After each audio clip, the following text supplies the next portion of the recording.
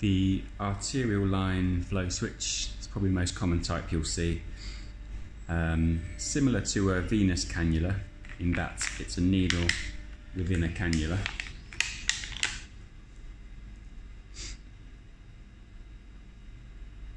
Um, the differences being to a peripheral cannula is the flow switch, so this red button here, which will basically allow you to um, close and open the valve in there. So it comes as on, which is open. Um, so you you sometimes see once this is inserted into an artery, you get quite immediate flow of blood backwards, um, and you actually have to take the needle out and then push that forward to close the valve there, and then that'll that'll close the flow switch, allow you to um, attach all the tubing and, and the monitoring.